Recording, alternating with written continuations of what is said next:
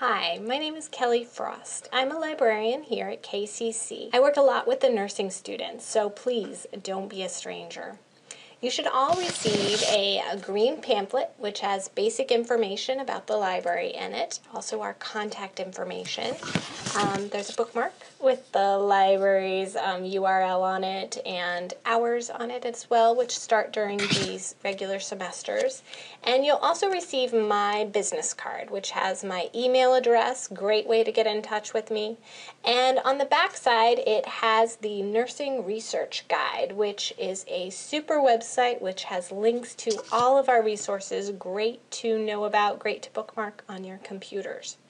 So in this playlist, you'll find videos which walk you through the Nursing Research Guide, that super website, our big everything search engine that looks through all the library's materials, and also the CINAHL database and the Cochrane Collection Plus.